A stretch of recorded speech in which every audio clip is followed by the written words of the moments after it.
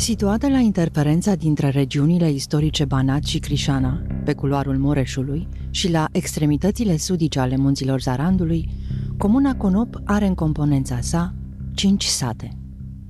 De-a lungul secolelor, toate aceste localități au fost martore ale unor întâmplări care au schimbat destinul oamenilor din zonă. Geografia acestor locuri a oferit condiții favorabile dezvoltării așezărilor umane în toate perioadele istorice.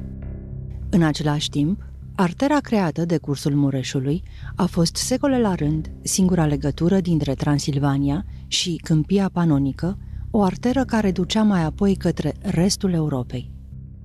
Tocmai de aceea, această zonă a fost cercetată de către specialiști cu mai multe ocazii.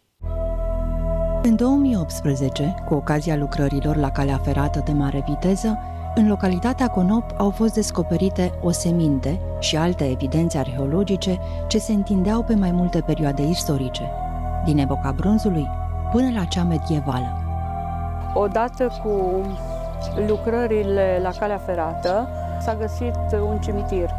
Localnicii au aflat rapid despre ceea ce se întâmpla la marginea satului, iar cei mai curioși au vizitat situl arheologic. Ioan Ciule este unul dintre cei care au vrut să vadă dovezile acelor vremuri. Am rămas chiar uimit ce oamenii au fost pe, pe vremuri de Înalți, oasele la mâini cum s-a noastră la picioare, să văd că a fost și dantura perfectă. În multe, la multe schelete, dantura perfectă.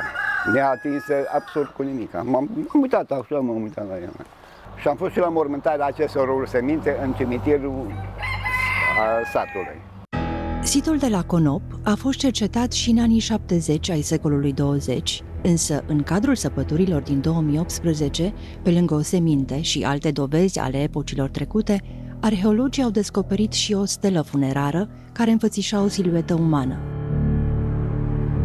Acea siluetă avea pe piept dăltuită o cruce, iar specialiștii au concluzionat că este vorba despre un personaj creștin, sculptat în tradiție paleocreștină.